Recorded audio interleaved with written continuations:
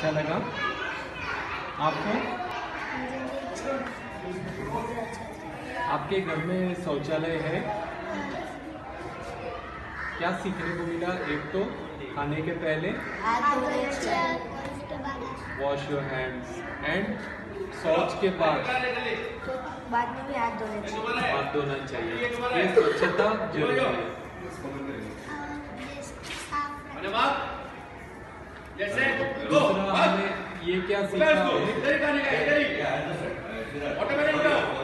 वो बच्ची बच्ची जो थी ना खेत में गई थी।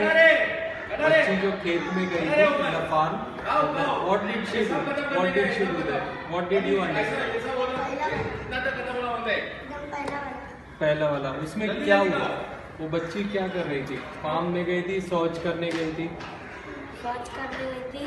फिर वहाँ पर- उसके भैया को उधर शौच करने उधर गए। हाँ। उसके भैया को साइड में काट स्नेक ने काट लिया। तो अगर वो घर में रहते तो स्नेक्स नहीं काटते। घर इसीलिए घर में शौच करना चाहिए। चाहिए। गंदगी नहीं फैलानी गंदगी नहीं फैलानी चाहिए। हमें कहीं भी दिखे कचरा दिखे तो हम उठाएँ और डस्टबिन में डालें। जैसे प्रिंसिपल मैम ने कहा we have to keep our bag clean school clean, clean class class clean school clean and our house clean